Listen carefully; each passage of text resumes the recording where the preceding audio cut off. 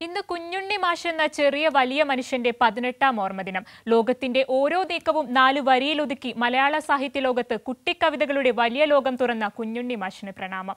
Report കാണാം. ഇതോടെ പ്രാദേശിക വാർത്തകൾ പൂർണമാകുന്നു. ശേഷം ഈവനിംഗ് റൗണ്ടപ്പിൽ നീലിമ ചേരും.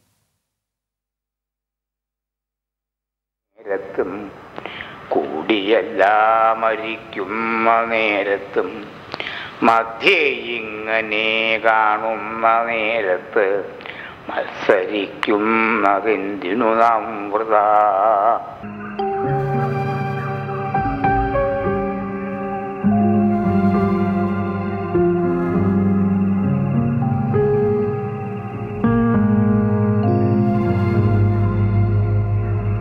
കഴുത്തിൽ രുദ്രാക്ഷമാലയും നെറ്റിയിൽ ഭസ്മക്കുറിയുമിട്ട് കുഞ്ഞുണ്ണി എന്ന കുഞ്ഞു മനുഷ്യൻ മലയാള സാഹിത്യ ലോകത്ത് കടന്നു വന്നത് മാറ്റങ്ങൾ സൃഷ്ടിക്കാനായിരുന്നു.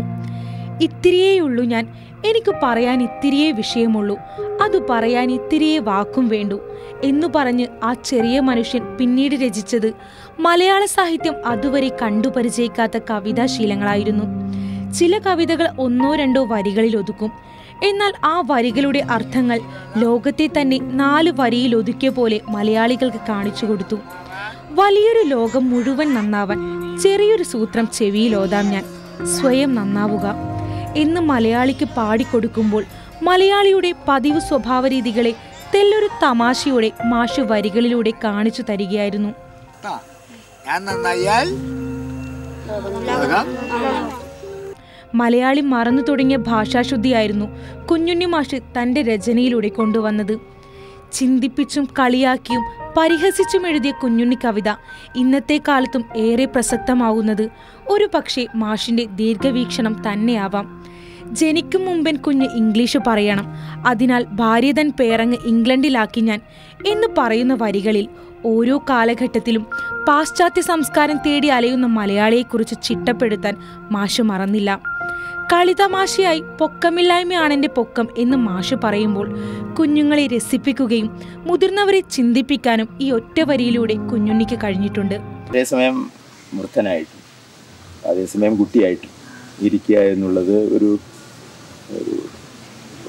ജീവന്റെ യാഥാർത്ഥ്യമാണ്. അതും കോഴി മുട്ടയാണ് കോഴിയുടെ കുഞ്ഞുമാണ് എന്ന് പറയാറുണ്ട്. കോഴിയുടെ കുഞ്ഞ് പുറത്ത് വരണമെങ്കിൽ മുട്ട പൊളിയാതെ പറ്റില്ല അപ്പോൾ അദ്ദേഹം കൂടെ കൂടെ കോഴിമുട്ടയെക്കുറിച്ച് പറയും അല്ലെങ്കിൽ വ്യാകരണത്തെക്കുറിച്ച് പറയും. കുറച്ച് കഴിയുമ്പോൾ മുട്ടയ്ക്കകത്ത് നിന്ന് പുറത്ത് വന്നിട്ട് ഇതൊന്നുമല്ല വ്യാകരണം പറയുന്നതാണ് വ്യാകരണം എന്ന് പറയും. ഞങ്ങൾക്കുള്ള അത്ഭുതം അതാണ്. മാറ്റം അനിവാര്യമായ മലയാളി ജീവിതത്തിൽ മാറുന്ന വായനാശീലം ഓർമ്മിപ്പിക്കാനും അദ്ദേഹം മറന്നില്ല.